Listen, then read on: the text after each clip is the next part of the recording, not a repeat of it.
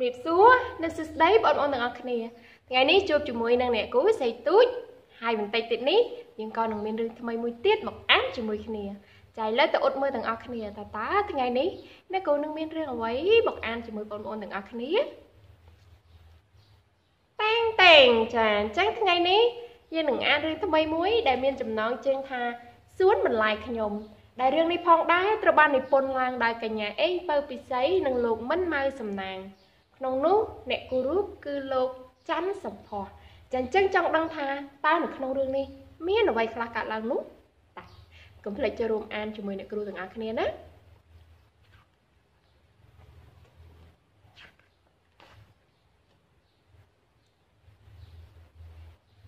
ចា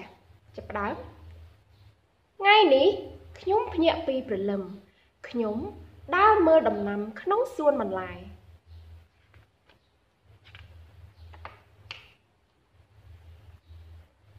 នបន្លែសួនបន្លែ នៅក្បែរមាត់ស្រះមានស្លឹកផ្កាផ្លែស្អេកស្កាស់នៅពីពេញសួនអូមើលនោះណូប៉ាក់ប៉ើកប៉ាក់ប៉ើកជីកូនដង្កូវប៉ាក់ប៉ើកវាវើកវើកកំពុងតែណា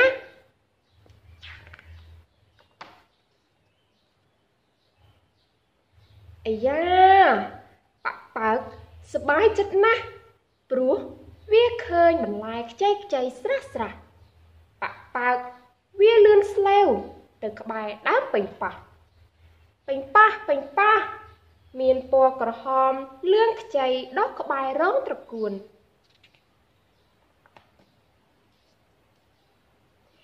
ហាត្រកួនត្រកួនដុះវែងវែងខ្ចីខ្ចីវាលាស់ថ្មីថ្មីពណ៌បៃតងស្រស់ក្បែររងត្រសក់ នោះណូ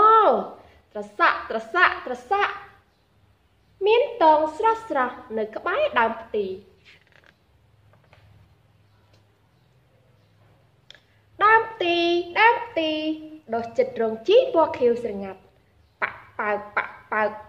លូនដោយប្រយ័ត្នទៅចិត្តដើមស្ពៃដើមស្ពៃដើមស្ពៃស្ពៃមានច្រើនយ៉ាងស្ពៃខៀវស្ពៃសស្ពៃខ្មៅ ស្ពៃក្តោបនិងស្ពៃចង្កឹះចាអញ្ចឹងមកដល់ចំណុចនេះបងប្អូនទាំងអស់គ្នាសាកទិសទាយបន្តិចមើលថាតើប៉ប៉ើកនឹងទៅជួបអ្វីបន្តទៀតចាចង់ដឹងអានបន្តណែ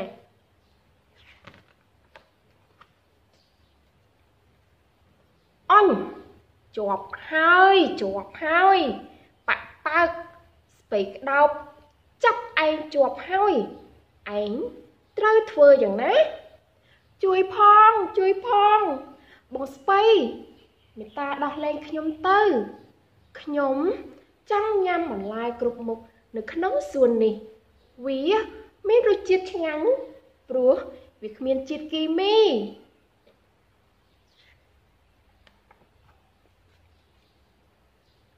មើលចោះ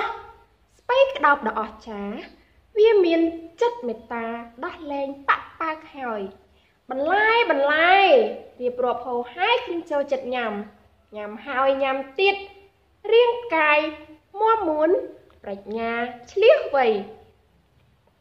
ចា៎អញ្ចឹងការអានរឿងរបស់យើងត្រូវបានបញ្ចប់ហើយអរគុណច្រើនបងប្អូនទាំងអស់គ្នាសម្រាប់ការចូលរួមអានជាមួយអ្នកគ្រូ ហើយអ្នកគ្រូសង្ឃឹមថាបងប្អូនទាំងអស់គ្នានឹងរីករាយចំពោះការអានរឿងនេះចឹងចឹងបន្ទាប់ពីអានរឿងហើយថាតើបងប្អូនទាំងអស់គ្នាដឹងទេប៉ប៉ើកជានរណាចាជាការប៉ាត់ណាប៉ប៉ើកគឺជាកូនដង្កូវដែលកូនដង្កូវម្នាក់នេះវាចូលចិត្តញ៉ាំបន្លែដែលគ្មានជាតិគីមីចុះចំណែកបងប្អូនទាំងអស់គ្នាវិញថាតើយើងចូលចិត្តញ៉ាំបន្លែដែលគ្មានជាតិគីមីដែរឬក៏អត់ ហើយហេតុអ្វីដែរចាអញ្ចឹងកុំភ្លេចរួមឆ្លើយដោយខ្លួនឯងហើយជួបគ្នាសម្រាប់ការអានរឿងលើកក្រោយទៀតចាអរគុណបាយបាយ